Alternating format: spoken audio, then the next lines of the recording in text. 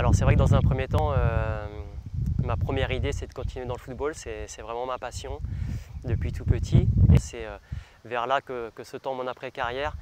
Euh, je ne sais pas si ce sera entraîneur, je me vois peut-être bien plus dans un rôle de, directeur sportif, manager auprès du président. C'est vrai que je suis bien dans mon club de l'Estac et ça pourrait être sous cette forme-là. c'est quelque chose qui, pourrait me plaire parce que je sais que j'en ai les compétences et surtout que je suis un passionné et, je pense que ma première idée serait de continuer là-dedans. Après, c'est vrai que je suis aussi ouvert à tout et euh, j'aime bien découvrir d'autres domaines.